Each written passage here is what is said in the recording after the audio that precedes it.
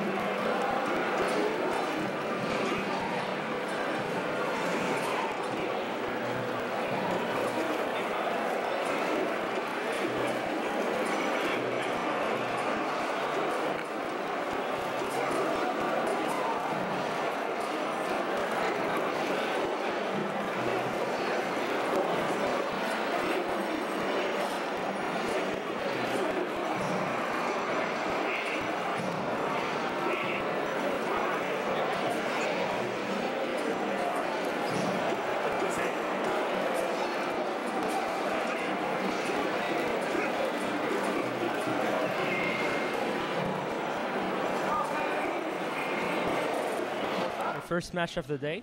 Uh, how, how does it feel? Uh, it feels alright. I mean, it was my first game, and so it's pools as well, so I'm kind of relaxed about it.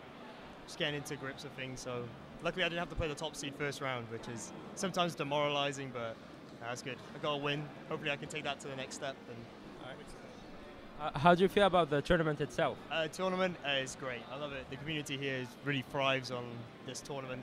I feel like uh, it's very community driven, and you get to meet lots of new people, and it's, it's lovely. It's lovely to meet new people. It's great. Uh, would you have any advice for your opponent who played against you, who, who Uh, lost? He got very nervous. I think he got very, very nervous. All right. Uh, get nervous and work on his punish. that, what, what else could he work on apart from the punish? Um, I know his mentality. He's called the worst. He's called himself the worst, which I don't think is like the best, best thing to do. But it's up to him. I